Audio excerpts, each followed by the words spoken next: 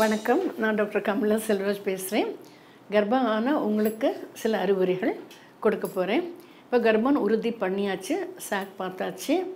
And அதுக்கப்புறம் நாற்பத்தஞ்சு நாளில் துடிப்பும் பார்த்தாச்சு. ஸோ கண்டிப்பாக கன்ஃபார்ம்டு கர்ப்பப்பைக்குள்ளே தான் உங்கள் கர்ப்பம் இருக்கிறது. இப்போ வந்து ஆக்சுவலி எவ்ரி ரெண்டு வாரத்துக்கு ஒரு தரம் மூணு வாரத்துக்கு ஒரு தரம் ரெக்கரண்ட் டெஸ்ட் பண்ணுவோம். அந்த காலத்தில் அதெல்லாம் ஒன்றும் கிடையாது. ஒம்பது மாதத்தில் வலி வந்தால் அவங்க பிரசவத்துக்கு போவாங்க. அவ்வளோதான் தவிர்த்து நடுவில் எதுவும் கிடையாது. பட் இப்போ வந்து எவ்ரி ரெண்டு வாரமோ மூணு வாரமோ ஒரு தர ஒரு தரத்துக்கு நம்ம ஸ்கேன் பண்ணி குழந்தையோட வளர்ச்சி வந்து சரியாக இருக்கான்னு உறுதிப்பட வேண்டியிருக்கு. அண்ட் அகெயின் அடிக்கடி ஸ்கேன் பண்ணுறதுனால அந்த குழந்தைக்கு எந்த உபாதையும் ஏற்படாது. எக்ஸ்ரே மாதிரி இது கிடையாது. இது வந்து ஒரு உயிர் காக்கும் ஒரு மிஷினே சொல்லலாம். பல விபரீதமாக நிகழக்கூடிய நிகழ்ச்சிகளை இது தடுக்க உதவுறது. ஸோ இந்த ஆரம்ப கர்ப்பத்தில் நம்ம பார்க்கும்போது குழந்தைக்கு மண்டை இல்லாமல் போகிறது குடல் வெளியில் தள்ளி இருக்கிறது கர்ப்பப்பைக்குள்ள நீர் கட்டி மாதிரி இருக்கிறது அப்புறம் கிட்னி இல்லாமல் இருக்கிறது ஒன்றுக்கு பை இல்லாமல் இருக்கிறது கை கால் ஒரு கை இல்லாமல் இருக்கிறது இல்லை கால் ரெண்டும் சேர்ந்து இருக்கிறது இந்த மாதிரி வாழ்க்கைக்கு உவாத பலர் பல விதமான குறைபாடு உள்ள குழந்தையை நம்ம இந்த ஃபஸ்ட்டு லெவன் டு டுவெல் வீக்ஸில் நல்லாவே கண்டுபிடிச்சிடலாம். ஸோ அந்த காலத்தில் பாட்டி மகன் வந்து நீங்கள் பெருசானதும் அப்புறம் வழி வந்தால் போய்க்கலாம்னு சொல்லிச்சு. இதெல்லாம் மிஸ் பண்ணி அந்த காலத்தில் நாங்கள் கவர்மெண்ட் ஹாஸ்பிட்டலில் ராட்சச மாதிரிலாம் குழந்தை பிறந்து அது துடிக்க துடிக்க சார்த்து நாங்கள் கண்ணால் பார்த்துருக்கோம். அந்த பெண்ணும் ஒம்பது மாதம் கஷ்டப்பட்டு பேபி கேரி பண்ணி கடைசியில் உயிரோடு அவளுக்கு ஒரு குழந்தை இல்லாமல் போகிறது ஸோ அதனால் இப்போ நவீன வசதிகள் இருக்கிறதுனால நீங்கள் அந்த டூ வீக்ஸ் த்ரீ வீக்ஸ் உதவும் இந்த ஸ்கேனுக்கு போகிறது மூலம் இந்த மாதிரி அசம்பாவிதம் தடுக்கக்கூடும். குறைபாடல் உள்ள குழந்தைகளை நாங்கள் நீக்கிடுவோம். அதே மாதிரி இன்னும் கொஞ்ச நாள் போச்சுன்னா இன்னும் ஃபோர்டீன் வீக்ஸ் அந்த மாதிரி அதுக்கு மேலே போச்சுன்னா டபுள் மார்க்கர்னு பண்ணுவோம் லெவன் டு ஃபோர்டீன் வீக்ஸு அது வந்து நியூக்கல் திக்னஸ் டபுள் மார்க்கர்னா என்டி ஸ்கேன் சொல்லுவோம். அதில் நியூக்கல் திக்னஸ் உங்களுக்கு வரும்.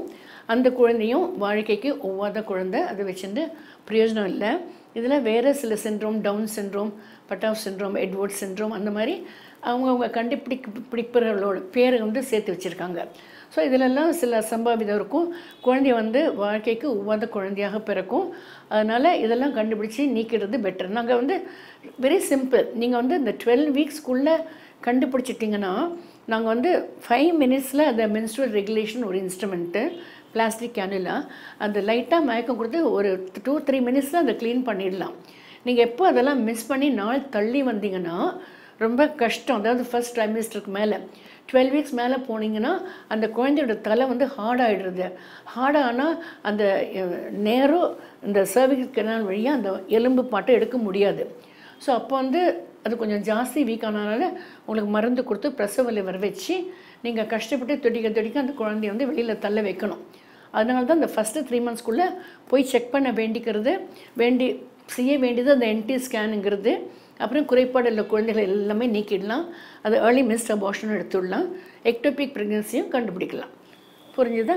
ஸோ அதனால் யார் பாட்டி மாதிரி யார் சொன்னாலுமே நீங்கள் வந்து எப்போ எப்போ டாக்டர் சொல்கிறாங்களோ அப்போல்லாம் போய் ஸ்கேன் பண்ணிவிட்டு வரட்டும். அப்புறம் நீங்கள் நெக்ஸ்ட்டு ட்ரைமஸ்டர் போகிறச்சே மேற்கொண்டு இந்த குழந்தைங்க வந்து விளையாட ஆரம்பிக்கிறது. கை கால் தலை பிரெயின்ஸு பிரெயின் அப்புறம் கிட்னி அந்த சிஸ்டம் எல்லாம் ஒன்று ஒன்றா விளையாட ஆரம்பிக்கிறது. அந்த சமயத்தில் தான் கர்ப்பப்பையும் குழந்தைக்கு நடு வயிற்றுலேருந்து கீழே இறங்கி ரெண்டாக வந்து நடுவில் சேர ஆரம்பிக்கிறது. இந்த கர்ப்பப்பையில் குறைபாடு ஏற்படுறதா இருந்தால் இந்த மாதிரி ஸ்கேன் மட்டும்தான் உங்களுக்கு ஹெல்ப் பண்ண முடியும். ஆனால் நிஜமாகவே கர்ப்பப்பை முழு கொளாறுன்னா உங்களுக்கு இந்த லேடிக்கு வந்து மாதவிடை வரலங்கிறச்சு தான் உறுதியாக சொல்ல முடியும். ஓகே நெக்ஸ்ட்டு வந்து வேறு என்னென்ன நடக்கும்னு சொல்லிட்டு உங்களுக்கு சொல்கிறேன் ஆல்ரைட் வணக்கம்.